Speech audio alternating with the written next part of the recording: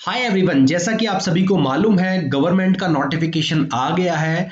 Due date for filing the income tax return को extension हो चुका है एज वेल एज जो टैक्स ऑडिट रिपोर्ट फ़ाइल होना था, उसका भी गवर्नमेंट ने एक्सटेंशन दिया था। जैसा कि मैं आप सभी को अपनी लास्ट वीडियोस में बता रहा था कि भाई एक्सटेंशन तो होगा, लेकिन एक्सटेंशन ज़्यादा नहीं होगा, केवल कुछ डेज़ का होगा। तो इन द सेम वे जो नॉर्मल एस हैं उनका जो रिटर्न अभी 31 दिसंबर तक फ़ाइल होना था, उसका गवर्नमेंट ने डेट बढ़ा के नॉर्मल एस का टेंथ ऑफ़ जैन, यानी 10 दिन का रिलैक्सेशन दिया है।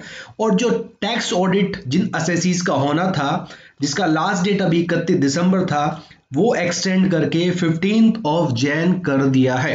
राइट साथ ही साथ मैं आपको बता दूँ, जिन एसएससी का टैक्स ऑडिट होना है, उनका रिटर्न फ़ाइल करने का जो ड्यू डेट है, वो फिफ्टीन फैब हो चुका है।